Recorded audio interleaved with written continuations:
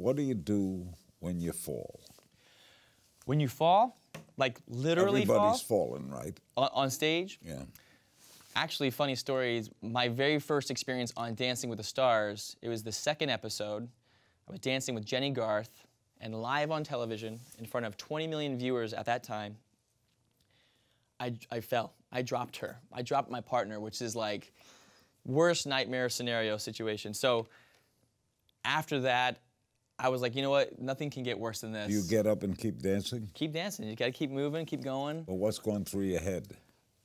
oh crap. I can't believe that just happened. Um, but yeah, you know, the show must go on and, you, You know, don't fall anymore, do you? yeah, all the time. I, I wouldn't say I would fall, but you certainly definitely make mistakes, but it's about how well you cover them up. Never miss a beat. Subscribe to Larry King now and watch new episodes every day.